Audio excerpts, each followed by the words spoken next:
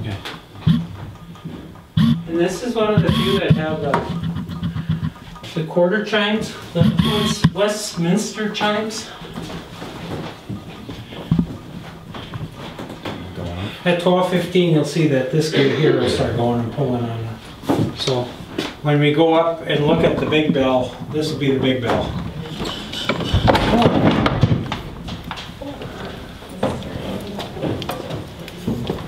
This is kind of a nice, there you go. This is kind of the clock face. There's four of them. You can see kind of the ones that face south, kind of weather a little bit more than the ones that don't face the sun.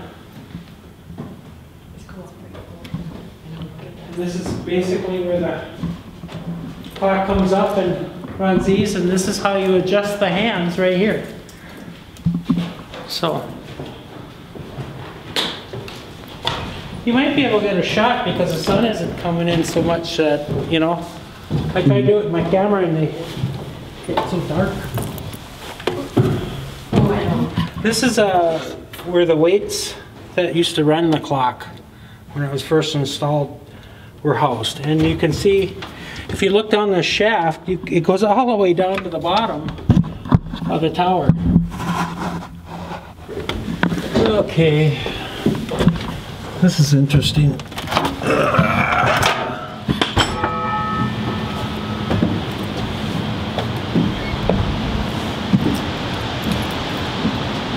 can see you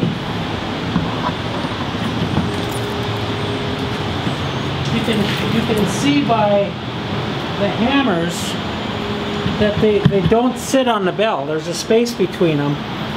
We have to come up here every year and be able to.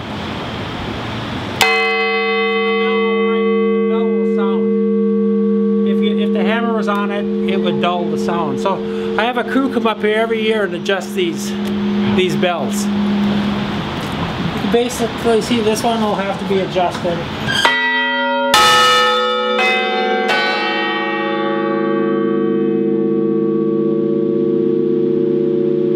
That's the quarter hour chime.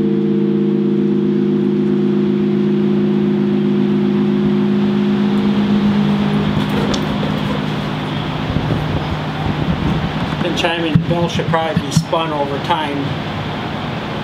And the, and the hammer needs to be back here like this.